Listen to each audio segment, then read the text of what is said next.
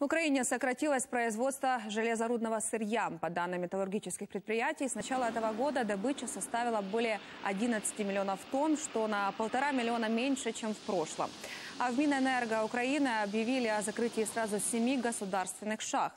Таким образом, число угледобывающих предприятий снизится с 33 до 26. Такую информацию опубликовали в пресс-службе министерства.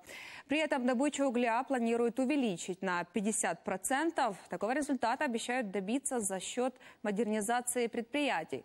С этой целью из бюджета выделили практически 2 миллиарда гривен. И напомню, из-за блокады Донбасса Янакиевский металлургический завод и объединенная Краснодон, Уг... объединение Краснодон-Уголь останов... останавливает производство. Также с марта полностью перекрыты поставки угля из донецких шахт.